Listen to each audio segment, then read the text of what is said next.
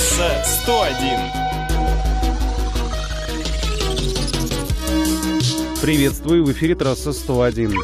Владимир Сметанин не нарушает. Почти.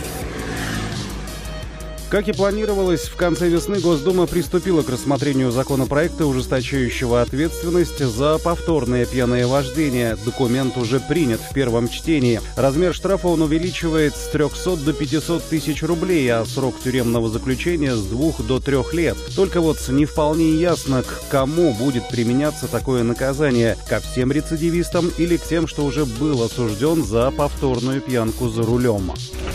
Трасса 101. Subaru отзывается в нашей стране более 7 тысяч кроссоверов XV и Forester. Автомобили были выпущены в 2017, 2018 и 2019 годах. ВИН-коды опубликованы на сайте Росстандарта. Причиной кипиша является возможное ослабление болтов кронштейна заднего стабилизатора. Из-за этого, вероятно, появление сильного шума. В некоторых затянутых случаях не исключено повреждение соседних элементов, например, патрубка тормозной системы.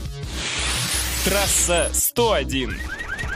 Чего вам не хватает на АЗС? В очередной раз спросили российских автомобилистов. Как информирует издание «За рулем», большинство участников опроса, 24%, ответили, что хотели бы покупать на заправках лекарства. Второй по популярности вариант – туалеты, третий – шиномонтаж. Также респонденты часто упоминали автомойку и дополнительные места для стоянки. Трасса 101.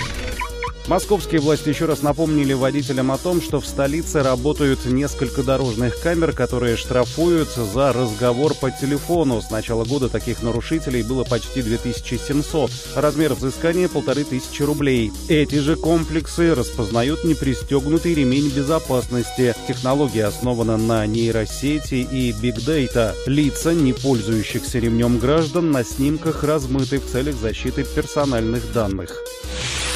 Трасса 101.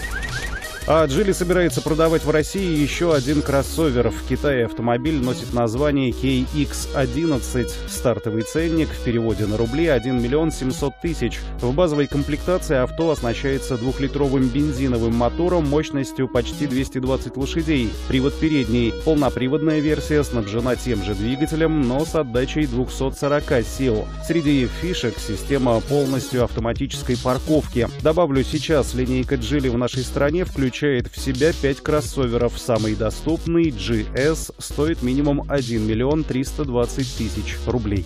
На этом все. Вопросы и комментарии оставляйте на сайте Хакирова. До свидания. Трасса 101.